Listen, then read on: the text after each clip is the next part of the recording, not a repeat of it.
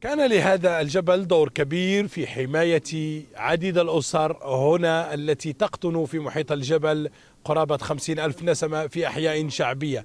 بالرغم من تساقط الحجارة نتيجة الزلزال الذي ضرب هاتاي وضرب الجنوب التركي يوم الاثنين ما قبل الماضي إلا أنه كان لهذا الجبل دور كبير جدا في حماية عشرات الألاف من الأسر التي لم تتضرر من هذا الزلزال.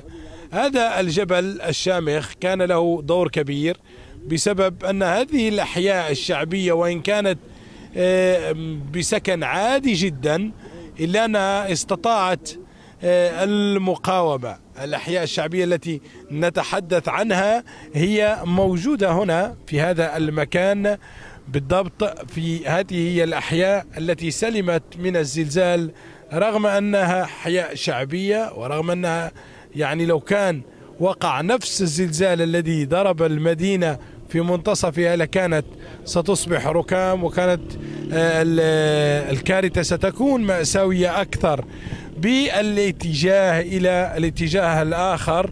نلاحظ أن هذه الولاية ولاية هاتاي مدينة أنطاكيا آه، يعني توجد بين جبلين.